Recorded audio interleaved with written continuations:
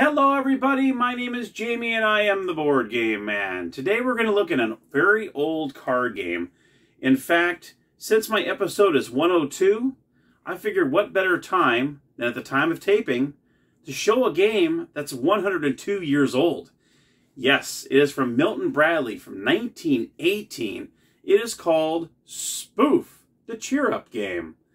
Now, I don't know if you remember back in the day when you were a kid, you used to play horse when you play basketball. Now, basketball is not my sport. I never really liked basketball. Baseball, softball are pretty much my things. But when you go around the court with a friend of yours and they make they shoot a basket, and you have to follow suit, and if you don't make the basket, then you get H. And then say another player goes and shoots it and you miss it again, then you get an O. And if you end up spelling horse, you are out of the game. Well, this remind that reminds me of this game here, Spoof. And I will show you why when we go to the gamers table right now.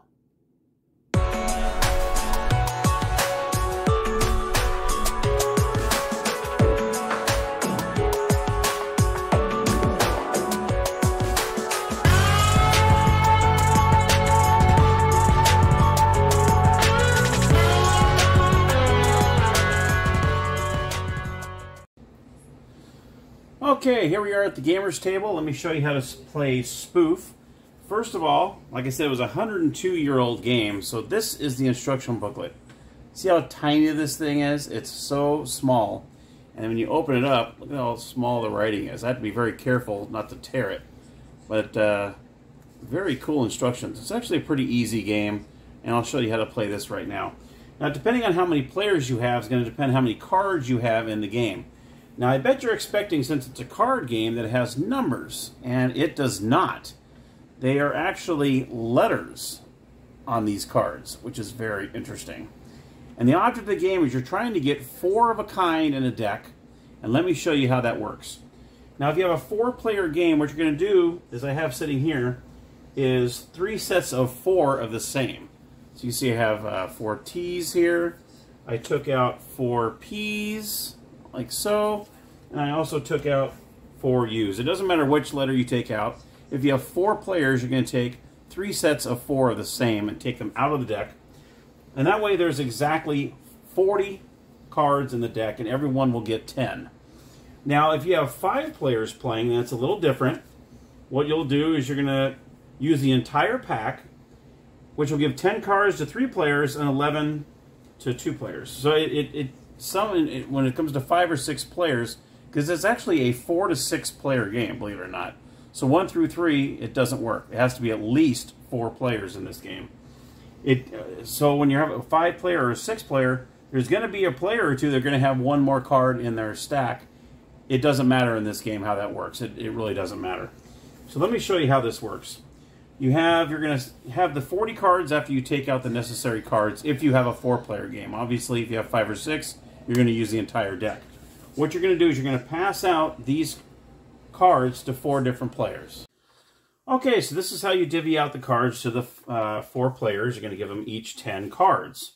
Now, the object of the game is you're trying to get four of a kind, or four of a letter.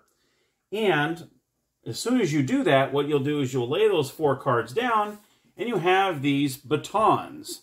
And what these batons do is there's six of them in here, because it's a four to six player game.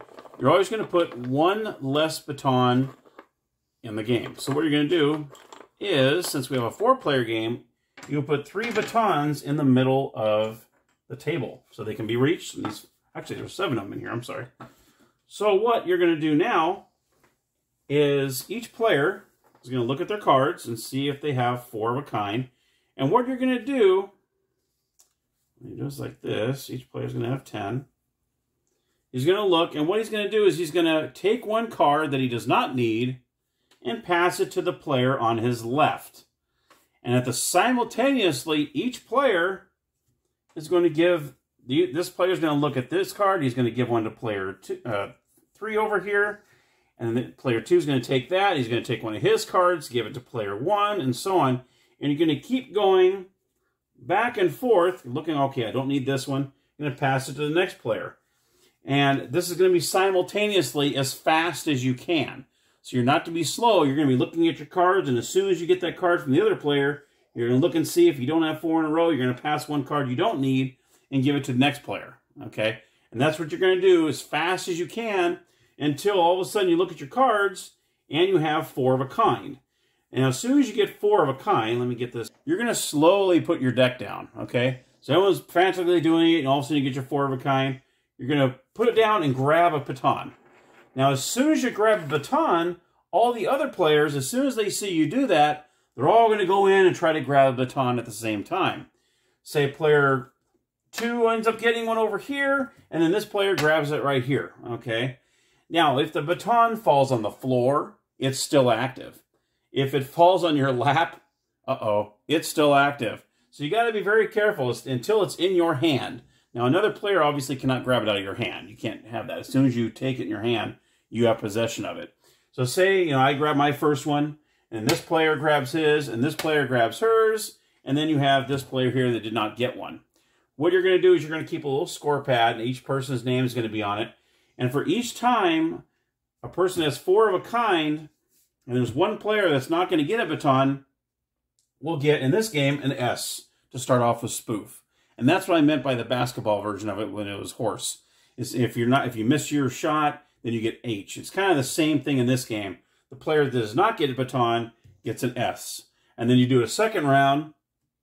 Next player that gets four of a kind, you lay it down, boom, you go all for them. And say this player didn't get it again, then they get a P. And as soon as you get to spoof, then that player is out of the game. And the last player to spell spoof wins the game. Now, if for some reason, say you, you were in, in your haste, you grabbed the wrong card, and say you did this kind of deal. Say you put three L's and you put a B by mistake. What happens is the baton, the baton gets taken away from you and gets and is given to the player that did not get one, and then this player would get the letter wherever they're at in their in their turn. So that's how the game works. Uh, it's pretty much the the last player to spell spoof under their name wins the game.